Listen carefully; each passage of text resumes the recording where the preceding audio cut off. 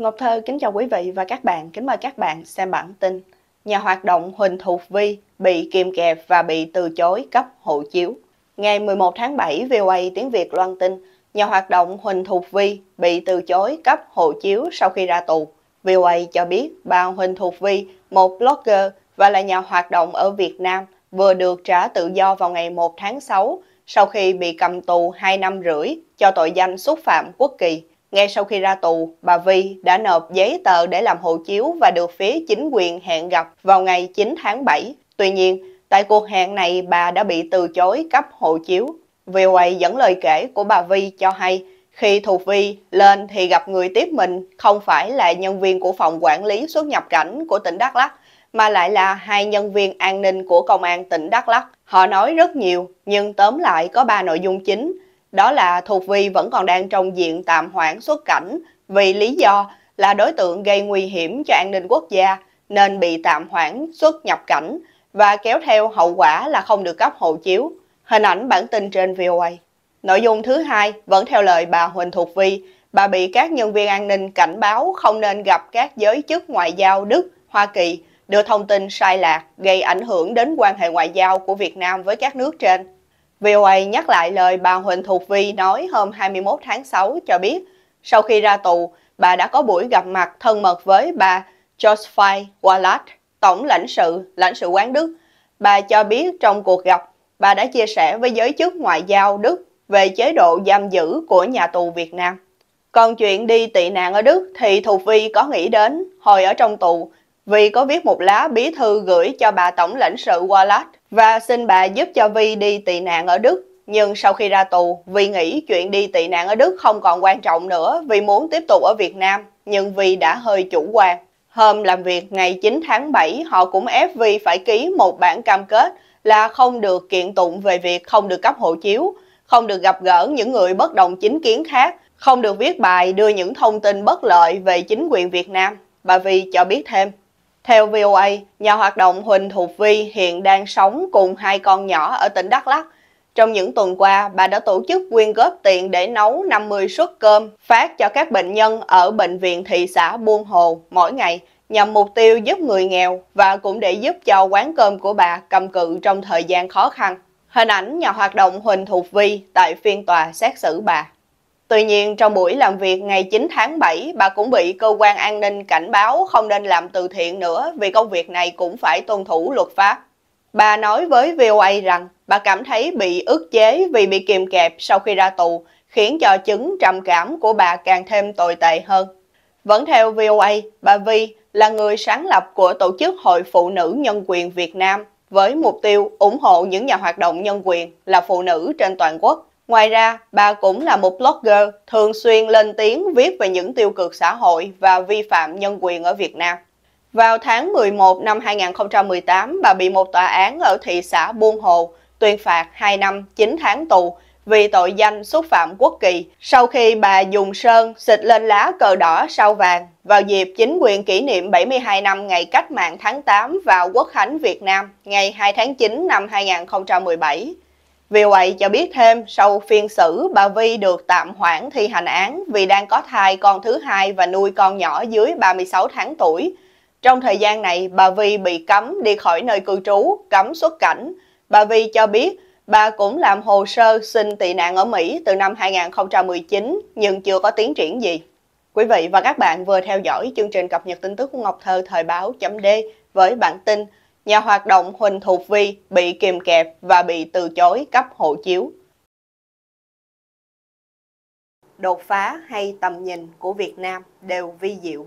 Ngày 10 tháng 7, blog Trân Văn trên VOA tiếng Việt bình luận Tầm nhìn hướng về đâu? Theo tác giả, tháng 3 vừa qua, tại cuộc gặp gỡ thường niên với các doanh nghiệp ngoại quốc đầu tư vào Việt Nam FDI, ông Phạm Minh Chính cam kết hệ thống chính trị, hệ thống công quyền tại Việt Nam sẽ thực hiện ba đảm bảo, ba đột phá, ba tăng cường. Về ba đảm bảo có đảm bảo ổn định an ninh năng lượng theo hướng chuyển đổi xanh và hệ sinh thái chuyển đổi xanh, chuyển đổi số, kinh tế số, kinh tế tuần hoàn. Về ba đột phá có đột phá về thể chế, pháp luật, cơ chế, chính sách, đột phá về cải cách hành chính và đào tạo nguồn nhân lực phục vụ người dân, doanh nghiệp. về ba tăng cường, có tăng cường hỗ trợ doanh nghiệp phát triển xanh, bền vững. Hình ảnh bài trên blog Trần Văn. Tác giả nhận xét, giới lãnh đạo, hệ thống chính trị, hệ thống công quyền tại Việt Nam không chỉ đưa ra những tuyên bố cam kết rỗn rãng về chuyển đổi số, mà còn ban hành nhiều quy phạm pháp luật để hỗ trợ các tuyên bố cam kết đó, như luật công nghệ cao năm 2008.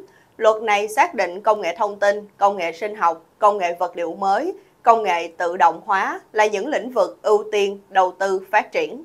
Sau đó, các văn bản quy phạm pháp luật khác thi nhau khoe sắc như hoa xuân, với hàng loạt giải pháp như hoàn thiện thể chế, hỗ trợ và tạo điều kiện cho ứng dụng sản xuất sản phẩm, cung ứng dịch vụ công nghệ cao, đẩy mạnh hợp tác quốc tế về công nghệ cao. Tác giả nêu vấn đề, cuối cùng kết quả ra sao? Chỉ một thời gian rất ngắn sau khi ông chính cam kết thực hiện ba đảm bảo, ba đột phá, ba tăng cường, là hàng loạt tin đồn về việc Intel, Mỹ bỏ ý tưởng gia tăng đầu tư vào Việt Nam.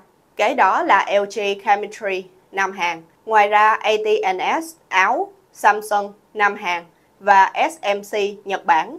Hoặc ngừng đầu tư thêm vào Việt Nam, hoặc thay đổi địa điểm đầu tư, chuyển dự án từ Việt Nam sang các quốc gia khác như Ba Lan, Indonesia, Malaysia.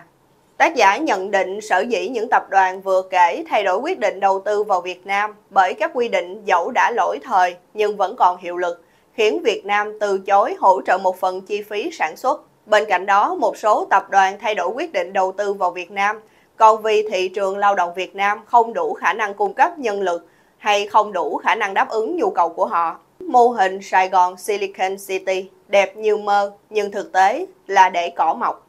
Theo tác giả, chỉ riêng các số liệu liên quan đến riêng Intel cho thấy hậu quả của việc nhiều tập đoàn ngoại quốc thay đổi quyết định đầu tư vào Việt Nam trầm trọng đến mức nào.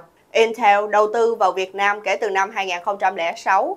Tổng sản lượng của Intel chiếm khoảng 50% trong hệ thống nhà máy đóng gói và kiểm định của Intel trên toàn cầu. Tính đến năm 2021, giá trị suất đầu tư của Intel vào Việt Nam là 1,5 tỷ Mỹ Kim, Giá trị xuất cảng từ năm 2010 đến quý 3 năm 2023 đạt 82 tỷ Mỹ Kim, tương đương 60% tổng giá trị xuất cảng của khu công nghệ cao thành phố Hồ Chí Minh.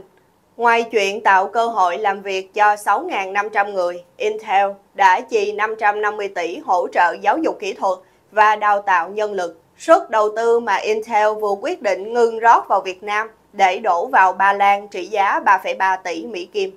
Vẫn theo tác giả, ngay thời điểm này, chính quyền thành phố Hồ Chí Minh vừa quyết định chấm dứt dự án công viên Sài Gòn Silicon bởi chủ đầu tư dự án này được cấp 52 hecta đất, được ví von là vàng trong khu công nghệ cao thành phố Hồ Chí Minh để tạo ra Sài Gòn Silicon City. Nhưng chủ đầu tư đã tổ chức động thổ năm 2016 rồi bỏ 52 hecta đất ấy nuôi cỏ. Nhiều người tin rằng việc thu hồi giấy phép đầu tư dự án công viên Sài Gòn Silicon chỉ là bước khởi đầu trong việc phải xử lý hậu quả của chủ trương và các quy phạm pháp luật nhân danh các loại số để đột phá. Tác giả mỉa mai, nhìn chung, đột phá hay tầm nhìn đều vi diệu, không dễ hiểu như lẽ ra phải thế. Quý vị và các bạn vừa theo dõi chương trình cập nhật tin tức của Ngọc Thơ thời báo chấm D với bản tin đột phá hay tầm nhìn của Việt Nam đều vi diệu. Quý vị và các bạn hãy chia sẻ video này để nhiều người cùng biết cũng như bấm nút đăng ký kênh YouTube và Facebook của Thời báo D để được cập nhật những bản tin mới nhất, nhanh nhất và trung thực nhất. Ngọc Thơ Thời báo D